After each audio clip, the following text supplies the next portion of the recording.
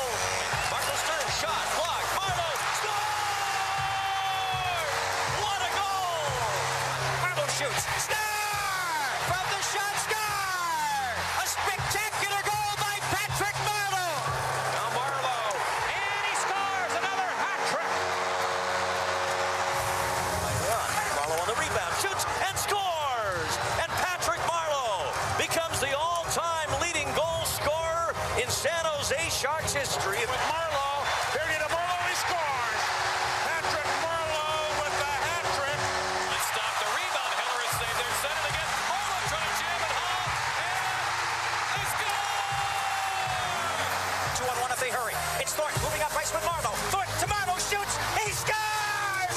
He scores! Patrick Marleau gets the game winner. Marleau's with him. So is Setoguchi. The pass, the shot, the save, the rebound. Patrick Marleau! Thornton across the line. He moves in. He shoots right on net. Save. Rebound. Marleau. Score! Patrick Marleau does it again. It. Tricky hop off the corner boards. Marleau in front. Backhand shot. He scores! He scores, and Patrick Marleau has done it again. Patrick Marleau, a two-point game to go over a thousand. Back burns the shot right on that Save made. Rebound.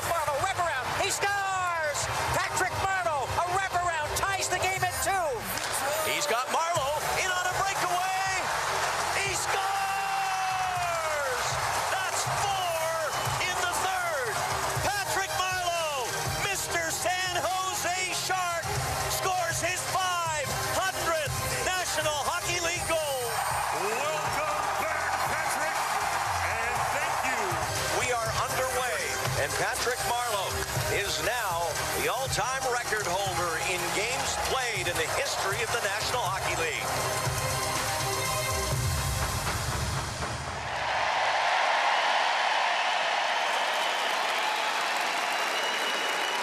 Wow.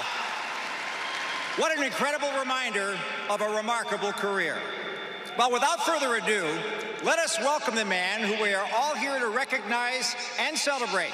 He is a San Jose Sharks franchise icon. Number 12, Patrick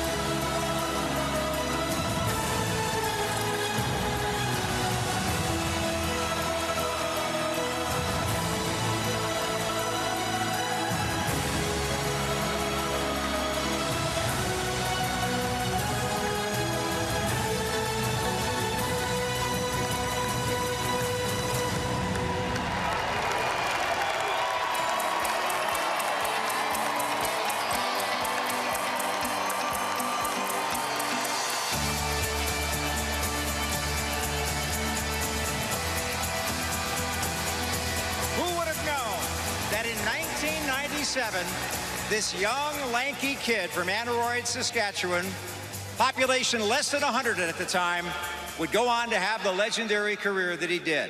566 goals, 631 assists, nearly 1,200 points, 109 game-winning goals. You talk about clutch scoring. He's tied for seventh in NHL history in game-winning goals. And he had a game-winning goal against every team but one that he played. He's played in more regular season games than anyone in National Hockey League history. But it's But it's not just the regular season. 195 Stanley Cup playoff games, 177 of those right here in San Jose. Representing his native Canada, Patrick won two Olympic gold medals. He was a member of the 2004 gold medal winning World Cup of Hockey team, and he captured another gold at the World Championships in 2003. That's quite a resume. Now, how did he do it?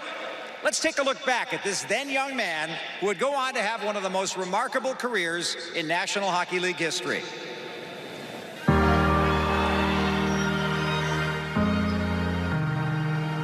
When Patrick was a little boy, uh, the population of, around Aneroid is around 70 families. It's a farming community. Everybody cooperated and did things together. They were tight knit in that you knew your neighbors, you knew all the community members, a very friendly community. Patrick, as a child growing up, was like any typical young child. He um, spent a lot of time outdoors, and of course, he had his farm chores to do, but he was into sports most of the time. He just loved skating. I'd take him to the rink, and I got this chair for him to uh, push around the ice, and he, he went up the ice about uh, halfway, and he, he cut across. The, he says, "Dad, I don't need this." And he just turned around and he, he skated off like as if. And this was uh, one of his first times that he went skating. And Patrick always played up uh, age group, and you could just see when he played up. I mean, uh, the leadership quality and that that just came along with a 10, 12 year old boy. When we met Patrick and we went out to his hometown in Aneroid, Saskatchewan, he gave us the directions to go out there, and he was kind of like, "Oh, you're not going to believe this. There's no street signs, so you got to go down to a certain tree and take a right and then take a left." But on the first meeting, it was kind of eye-opening in the the character he had. You could see it in the family. You know, when we first saw him, it was very clear that his number one asset was speed. It was a powerful speed, and he knew how to get open, and then he had a great release. And then there's something too you can't teach. You know, sometimes you can have that, but somehow pucks just don't seem to go in for certain guys. His pucks seem to go in.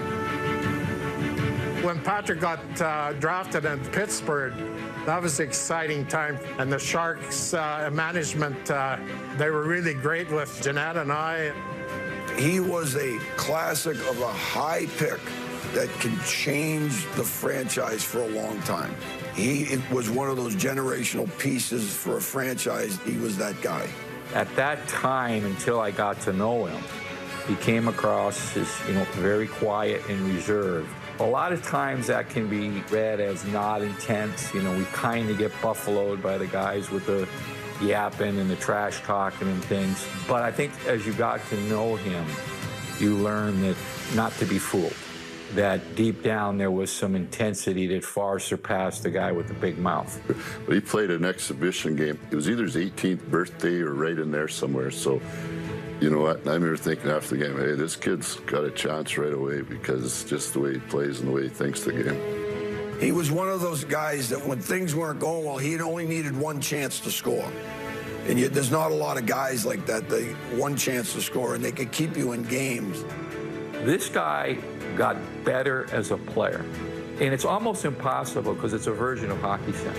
But I distinctly remember watching up top, and we're like, holy smoke. I never made that play before. So it's really interesting. He was a better player eight years into his career, and you don't see that very often.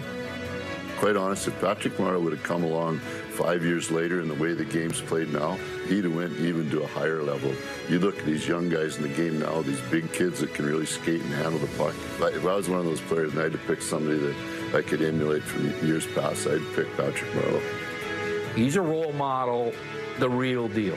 I mean, we make so much of these guys with talent assume their character. No.